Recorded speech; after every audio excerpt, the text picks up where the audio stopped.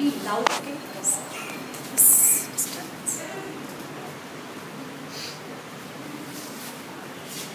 Good morning to This is my last day of my class, so I would like to say some words about this class.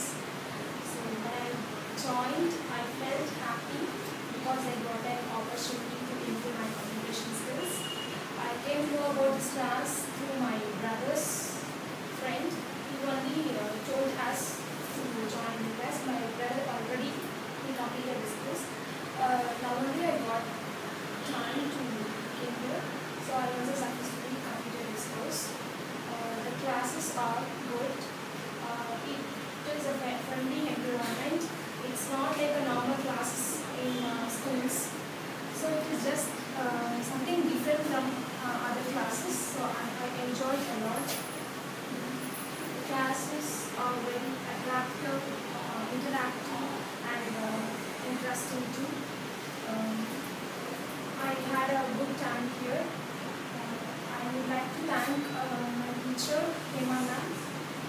She helped me to improve my communication skills and also self-confidence because self-confidence is a key to enhance our communication skills.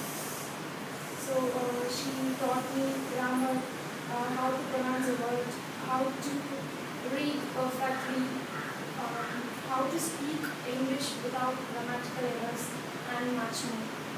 I gained a lot of information. Uh, she gives many examples from the real life situations, uh, which helps me to grasp the things very easily. Uh, I had many good friends here. Uh, surely I'm going to miss you uh, if I time, I'll come to the laboratory. 3. Then uh, my special thanks to Principal sir who uh, has given me this opportunity to come here. Uh, now I got confidence to speak in English. Mm, I will recommend my friends to join in this class. Uh, I have told my other brother Vijay to join in this class. Now he is pursuing his 12th standard. I told him that uh, you have to, I compelled him that you have to come after finishing your 12th. He said, okay, I will come. Once again, thank you all for giving me this opportunity. Any comment? Any comments? No, she did very well. Was on level two hats up. Uh, because in level three we expect this.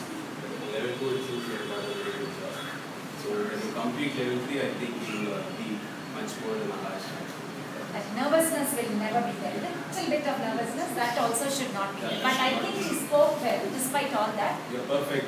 Yes, the And you language. can, at after level three, you will have that uh, hundred percent confidence. yourself. Okay, all the very best.